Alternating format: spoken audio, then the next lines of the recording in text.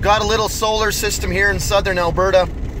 a customer came to, came up to us there in Red Deer and bought the system and loaded it up in his truck, hauled it down to his property. He lives in southern Alberta. I'm just coming down here now to, uh, to hook the system up, get it get it turned on for him, turn on their house and stuff.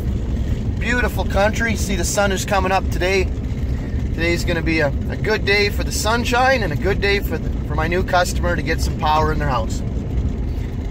Talk to you soon. Neighbor's place, he lives off grid also.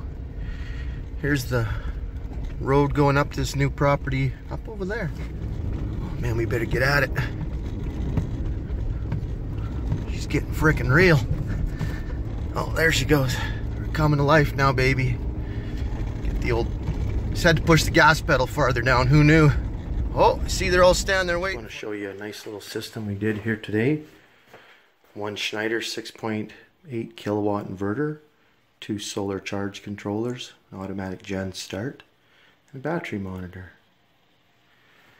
Going out here, backup generator. He's just getting ready ready to plumb it in with the exhaust and the ventilation and, and a fan.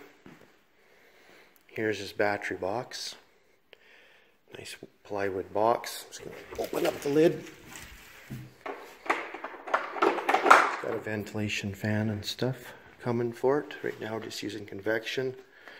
Two strings of Rolls S550s.